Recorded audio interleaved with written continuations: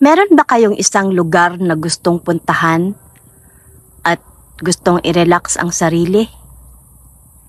Katulad ng ganitong view? Sino ba naman ang hindi matatanggal ang stress sa ganitong view? 'Di ba? Agree with me. Look at this view.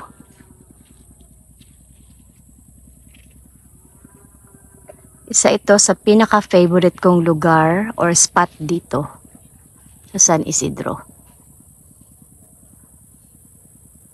Ang relaxing kasi niya.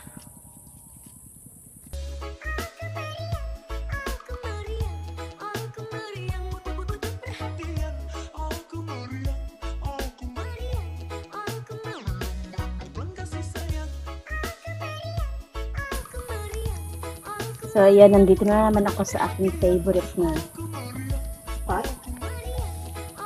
Dito sa San Isidro.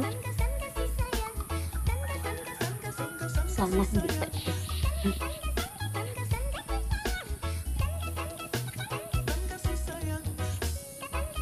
Aray ko. Opo, nandito na naman ako sa aking favorite na spot ilang beses ko na itong na picture sa aking channel at hindi ako nagsasawang videohan ng videohan ng ito. And siguro kung i-upgrade nila tong bridge na ito dito, super ganda siguro na ito. I-renovate nila yung parang hanging bridge, ganyan. Baka mas lalong gumanda pa ito. Tignan nyo naman, ang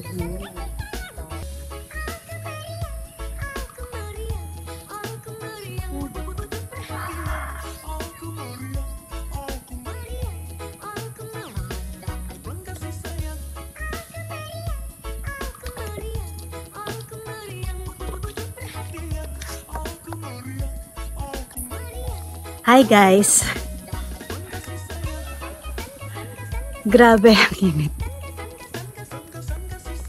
Opo, nandito na naman ako sa aking favorite na spot. Dito sa San Isidro.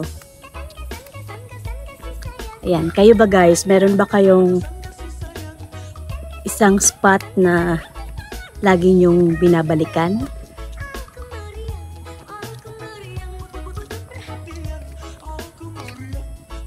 Kasi ako, ito, ito yung spot na lagi kong binabalik-balikan.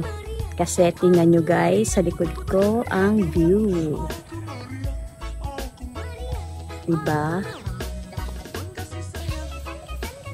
Oh, sino ba naman ang kahit may problema, matatanggal ang problema. Sa view pa lang, o diba? Oh. San ka pa panalo? Diba?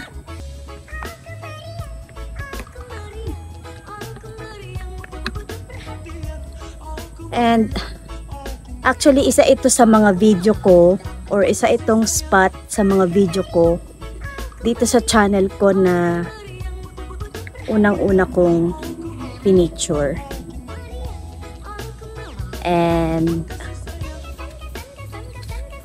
hindi ako magsasawa na lagi ko tong babalik-balikan.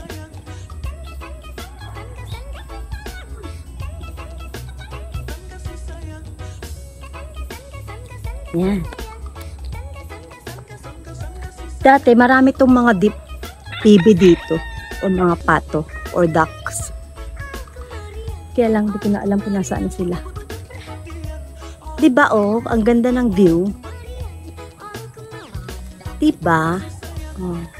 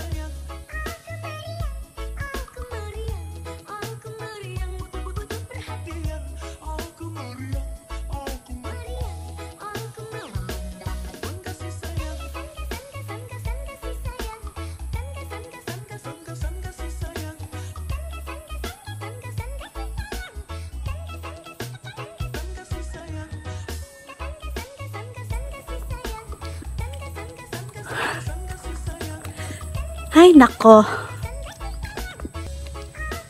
Kailangan ko na talagang merong mag-video sa akin. Kasi sayang talaga yung view na ito pag ano, ikaw lang lagi mag-isa. Kailangan meron kang taga-video pag ganitong kagandang spot.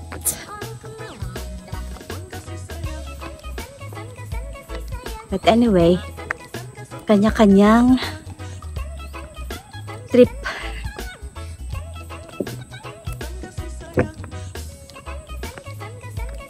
Yan. O, diba? Tapos, ito na yung pinaka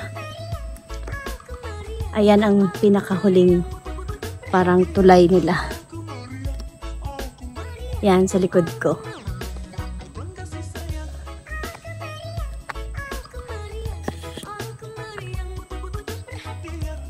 Dati may challenge-challenge to dito.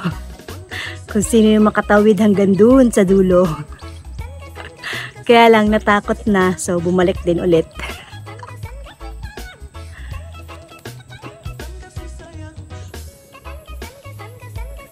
Ayan guys, nakikita nyo ba yung kulay pula na yan? Yan ang aking motor. ba? At nandito ako ngayon sa tulay.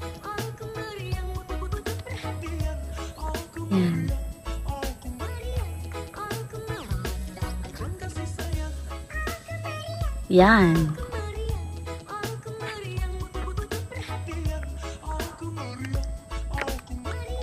O, diba?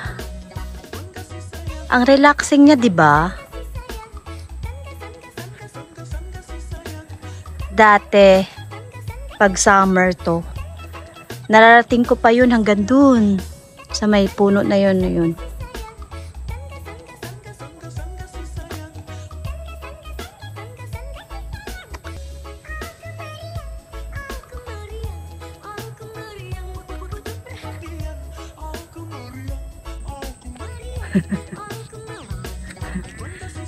So, ayan na guys. Hanggang dito na lang aking video. At ako ay bibili pa ng itlog. bibili lang talaga ako ng itlog. Kaya lang, nadaanan ko to.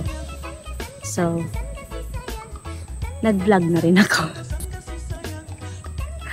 At dahil nagda-diet tayo, so, bibili ako ng itlog sa bayan.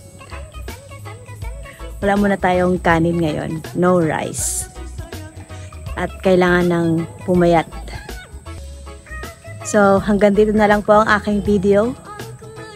And kung hindi pa po kayo nakapag-subscribe sa channel ko, please do subscribe. Subscribes ba? Subscribe. And hope to see you guys again in my next vlog. Thank you very much for watching this video.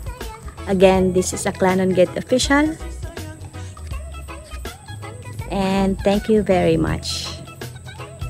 Paalam!